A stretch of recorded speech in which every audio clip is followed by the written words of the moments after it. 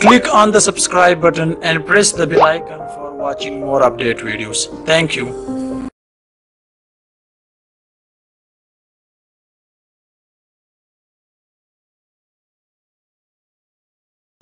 Assalamu alaikum friends. This is Sami and you are watching Civil Engineers YouTube channel.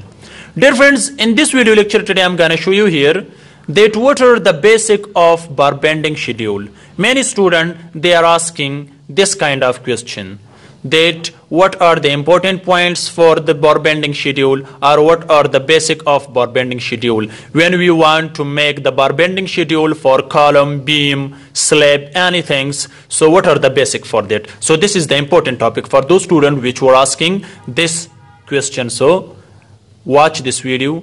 To end then you will be able that what are the basic for bar bending schedule. If you need the article about this in written form, then you are able to visit my website www.civilglobal.com okay? So if you need the article okay in written form then you can read the article also. Okay? So must visit to my website www.civilglobal.com or the link is in the description of this video article okay? The link is in the description for this video okay? You must visit there then you will be able. But don't forget to like and subscribe this channel because this is the important channel for all civil engineers. Let's start.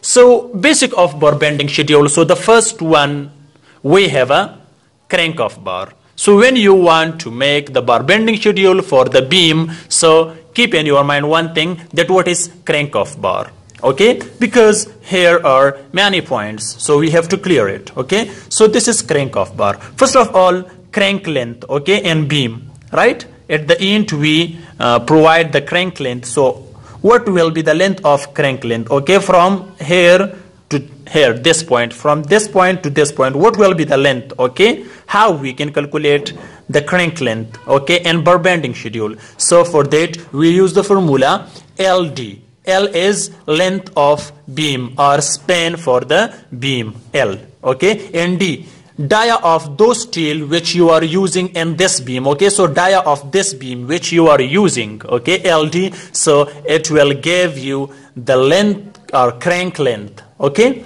And the other things so uh, you have also this one okay? From this one also okay? How we can get the length for this.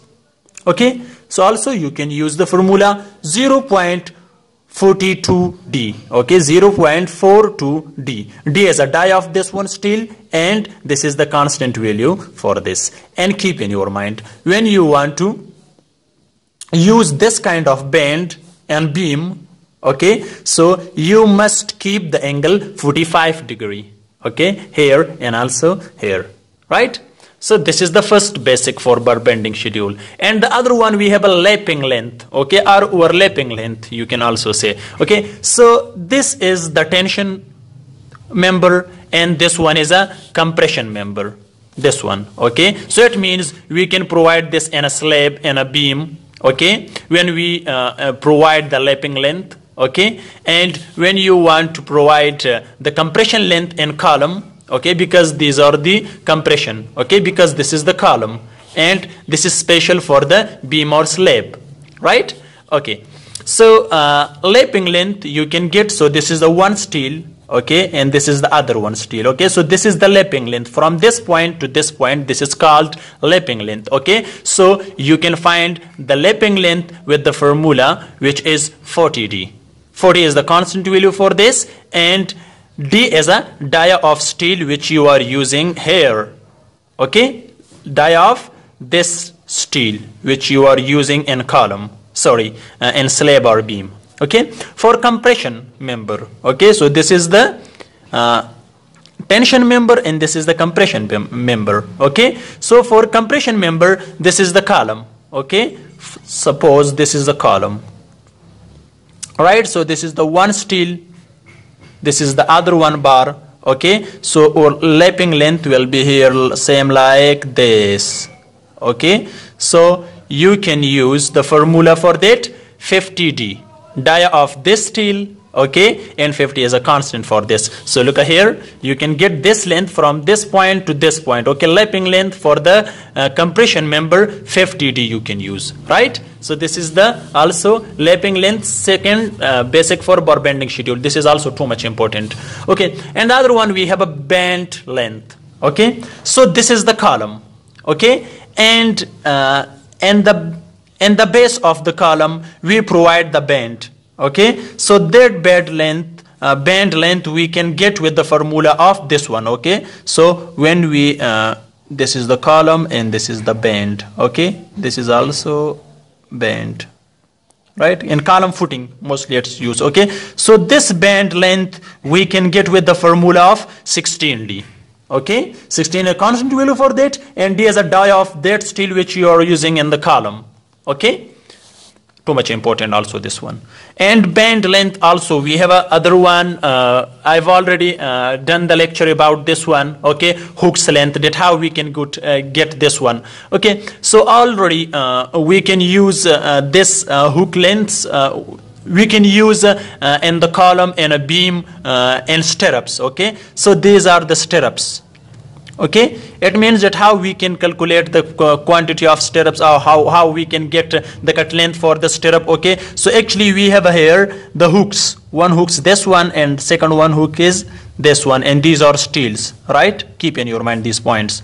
Okay? So remember that these are two hooks okay? So we can uh, find out the hook's length with the formula of 9d okay? D is a dia of stirrup okay? Because this is a stirrup dia okay we use the steel but this steel is a, in a stirrup. Okay in this one this is the column uh, clear cover. Okay concrete cover or clear cover uh, sorry concrete cover. Okay so we use the formula 9d okay so 9 is a constant and d is a die of stirrup. Okay and die of stirrup steel. Okay this steel dia right not this one because these are the length these are the main bars for the column. Okay not this one this one. Okay this one steel dia we can use here. Okay? And keep in your mind that we have to use the angle okay? We have bent the bar with the 130 degree. This is the too much important point okay? Now uh, we have uh, the other one. This is uh, uh also uh, provide we can provide it uh, in footing column footing and also in beam okay? So we can get this length okay? This one so with 10d okay? 10d we can get this length. Okay? This is also uh, in band length right? So if you want to uh, find out the two hooks length so you can use 2 okay? 2 multiply 9d okay? D is a die of stirrup and 9 is a constant 2 one hook is this one and second one is this one. Okay? So this is the important topic for today that what are the basic or important point for the bar bending schedule. For more videos, you must like this video and subscribe this channel.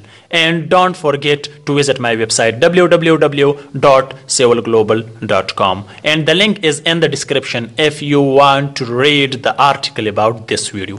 Thank you. All the best. Bye.